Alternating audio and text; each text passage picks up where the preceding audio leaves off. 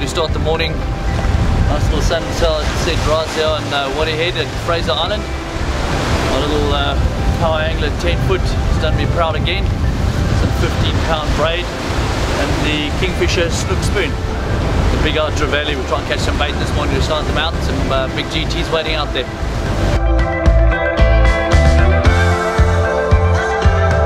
Okay, good morning viewers. Um, so we're here at a point uh, just off Fraser. And uh, yesterday we had great success with a three spot pompano so it's early. Sun just came out. The guys got a couple of GTs off the front little GTs for bait. So we kept some uh, live dart from yesterday. And we're gonna put one out hopefully looking for a couta a kingy uh, or a GT and uh, I'm sure the sharks are not going to leave this alone as well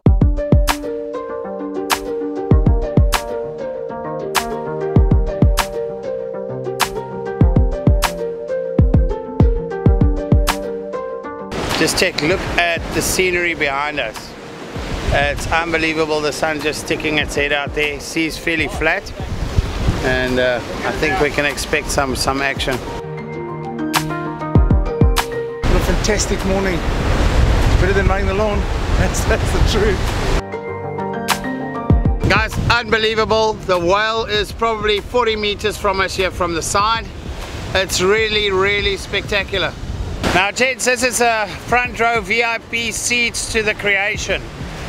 Um, unbelievable the things we've seen Yeah, We saw yesterday a dugong coming past here, whales, um, big skates, a manta ray.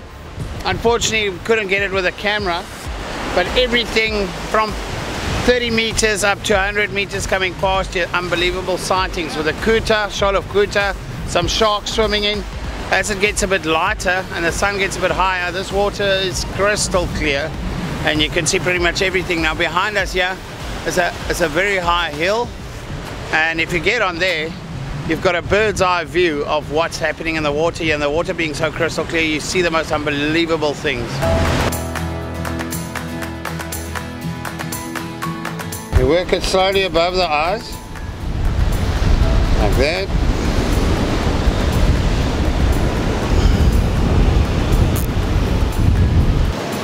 And you just tighten it nicely there so the circle can carry it. And to cut that off. I should have brought a side cutter down.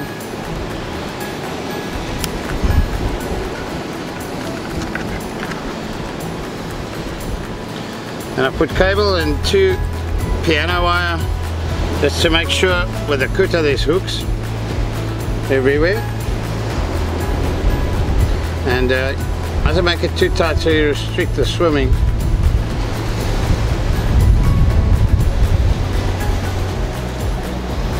And that one will stick in there.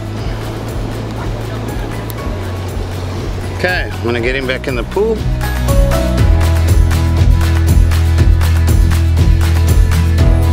Alright guys, now when you when you start slide bait fishing as they call it in Australia or sliding like we know it in South Africa, you have to use essential part of your equipment is a, a grapnel sinker, what's referred to as a grapnel. It's like a literally an anchor it can unclip to make it easier for you to get it loose when it sinks into the sand. But this is essential that you don't pull your sinker the whole time closer. When you're shaking that fish out, it allows you to then slide even bigger bait. Then you've got your stopper, your slide stopper, which is a ring and a swivel, power swivel, tied to your leader. And uh, then yeah, I use a, a much thinner piece of nylon to your sinker and you tie a little knot in there to give it a weakness. So should you get stuck when you're fighting a big fish, it just pops off right there. That's your weak point that you make. And then when you're casting to make sure you don't pop this while you're casting, if you're gonna have a good cast, your sinker will just hook on that and you cast like that. As it hits the water, it will release. Now, this is a Poseidon prototype rod, which we're testing. It's uh, double up for spinning as well as multiply. You can use it for both.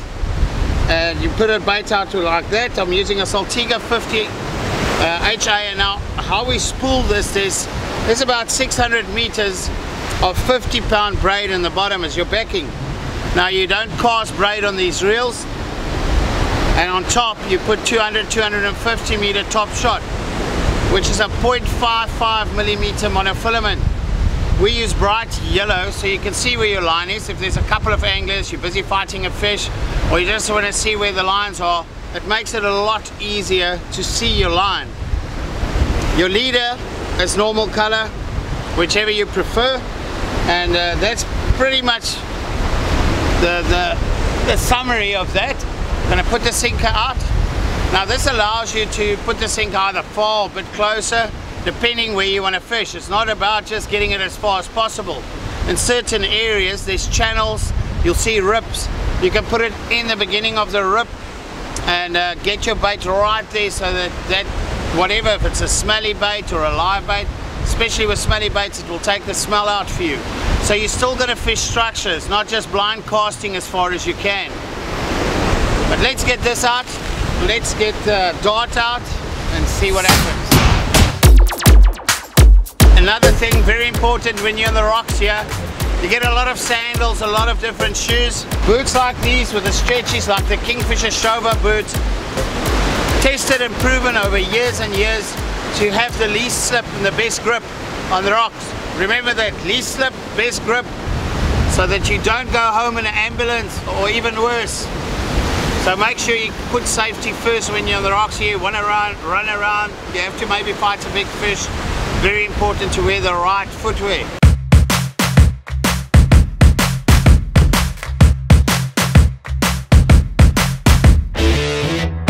The best way to hook this up Remember, it's always facing towards the sea. It's called a non-return. The whole purpose of this clip is it can't return on your line coming back and wash back out. Doesn't matter what the fish does in the waves, it eventually helps you and you use your rod to get it down to your sinker. Now good. At least 100 shakes to get, get it down. And then you wait a minute or so and you shake it again to just get it over your leader knot. Make sure it's hanging on your leader. And then you're done. So how we start very simple. You flick over your reel and put your thumb on so it doesn't overspin. Just grab your line. Hold it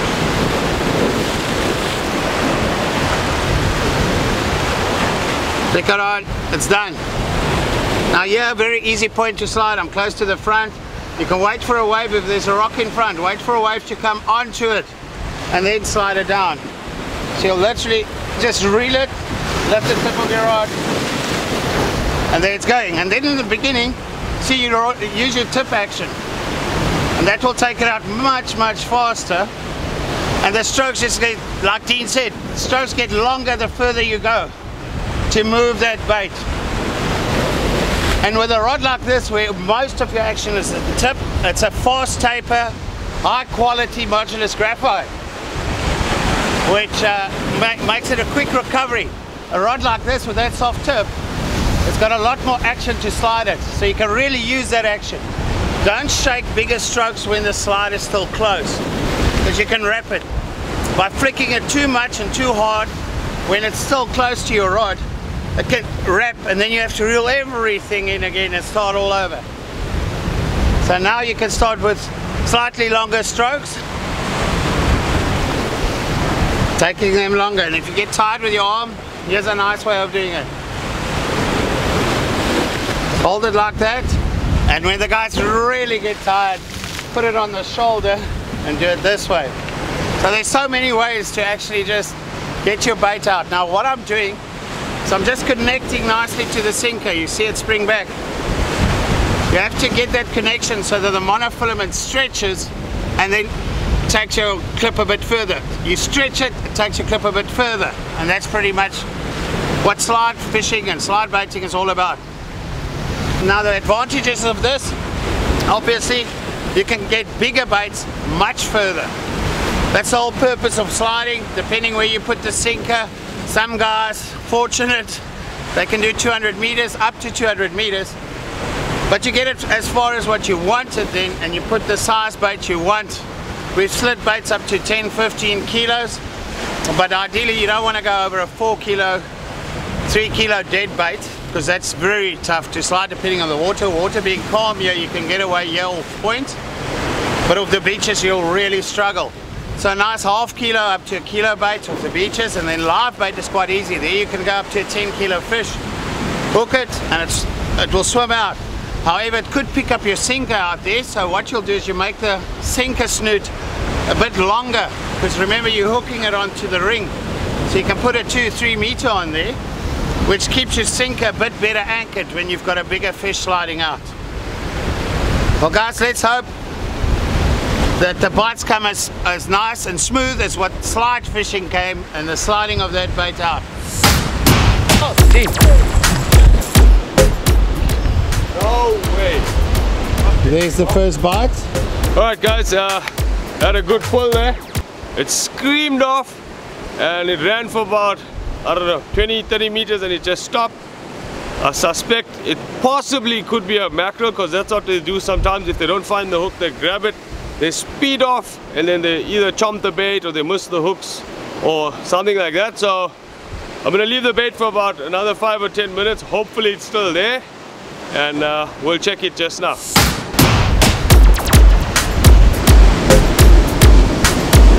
Something swimming to your line. Yeah, skill. Yeah. Bit of it squashed. There. There. The meat gets squashed in it. Dart out here at the moment and hopefully we can get onto a Spanish Mac or a big GT. Just been picked up. Um, not too sure as of yet what is on. Um, we've tightened up the drag and looks like he's set and hooked. So let's see where we are, see if we can turn him at any stage. We've still got a good amount of line on, so we should be in for a, a good fight. Hopefully not too long. At this stage, not too sure what it is. We're not getting any head shakes or anything. We've had to come to the top of the headland um, to control the fish a bit more. Because um, if he's going to run, he's going to run around the headland. At least from this height, um, we have the ability. Oh, he's taking a lot more at the moment. Um, we have the ability to now turn him and land him safely on either beach, um, either left or right.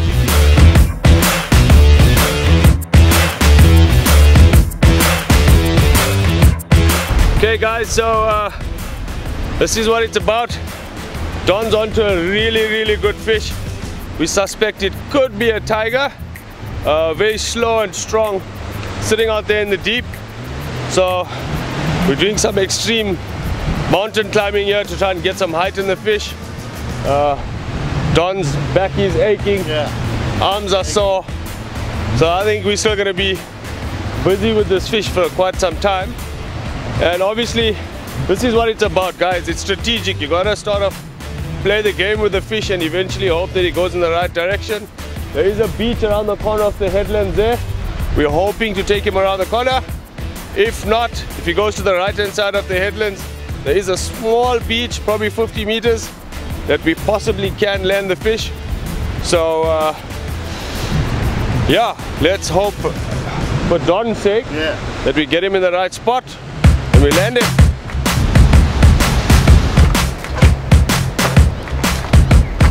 Right guys, the one that got away.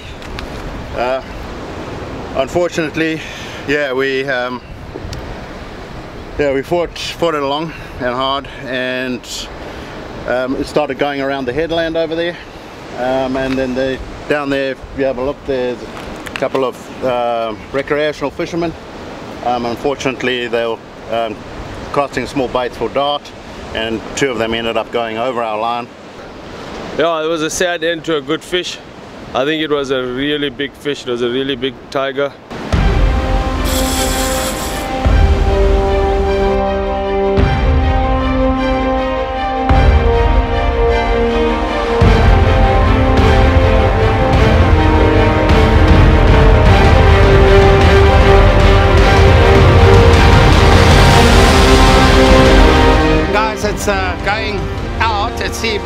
To the left, which is a problem. You need to get over this hill in the back to take it there. So what I've done, I've released the spool. Now in theory how this works, if you put a lot of pressure, fish is going left, he'll carry on going left. Unless it's small enough for you to turn it. But uh, if you give him the impression that uh, the tension's gone, they'll a lot of times turn direction. So let's just see if it's going to do that. See, it didn't take a hell of a lot of line, but it had a long tail, or looked like a long tail thrashing there on the surface. Still going the same direction. Deep sea. Okay, let's hold it on and see what it does. Tighten it up a bit and see. But also by giving it line and letting it go further, you've got options. Um, if I have to go up there and it's far out, it's safe. But if you bring it straight in as you hook it, and that fish then goes around, you're probably going to lose it. And that's a difference uh, of uh, some success stories and less success. Because there's always the big risk, especially when you're close to reef or rocks, for a fish to cut you off in this area. You know, you've also got the risk of a bigger, bigger fish coming to eat that one. So you don't want to fight it too long. But we'll see what it does.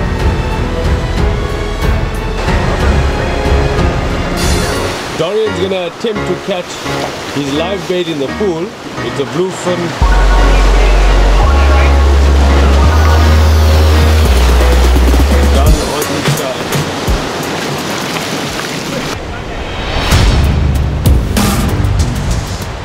Fish is just hanging. One spot I wanted to decide either right or left. I thought it was going left, so we're way up on top here. Spectacular view. From top here yesterday saw Couta, Manta Ray, ugh, everything. We could get a bit of sun, we could see him. How awesome is this? Fishing with a view. Not any view.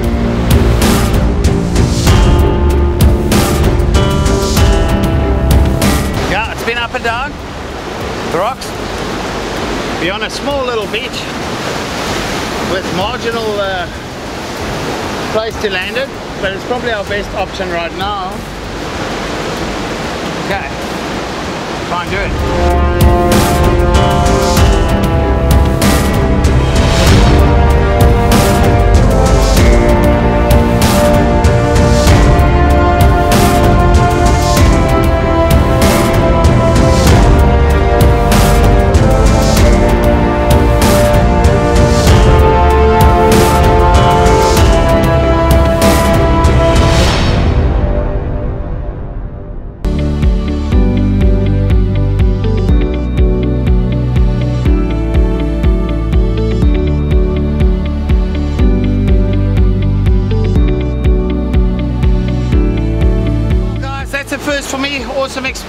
The guys are getting them on the drones in South Africa and you're in there on Rod and Line. But that was the funniest fight from the start, from the bite. I couldn't figure it out. It ate me like a grey nurse or a ragged tooth as we know it. And uh, then it just hung. It hangs. Doesn't take off fast. It will take 10, 20 meters of line at a time. Um, not a big one. We'll take the measurements and see what it was, but I reckon about 50, 60, somewhere there. Not sure what what the size to weight ratio or measurement to weight ratio is for the tiger. But no better place to catch it with Kingfisher Australia. Um, really made it an awesome experience so far for us, these guys. Really go out of their way. So to all the Australians, mate, make your way to Kingfisher. You want to catch some big sharks. They've got to tackle slide baiting and uh, come right here to, to to the island?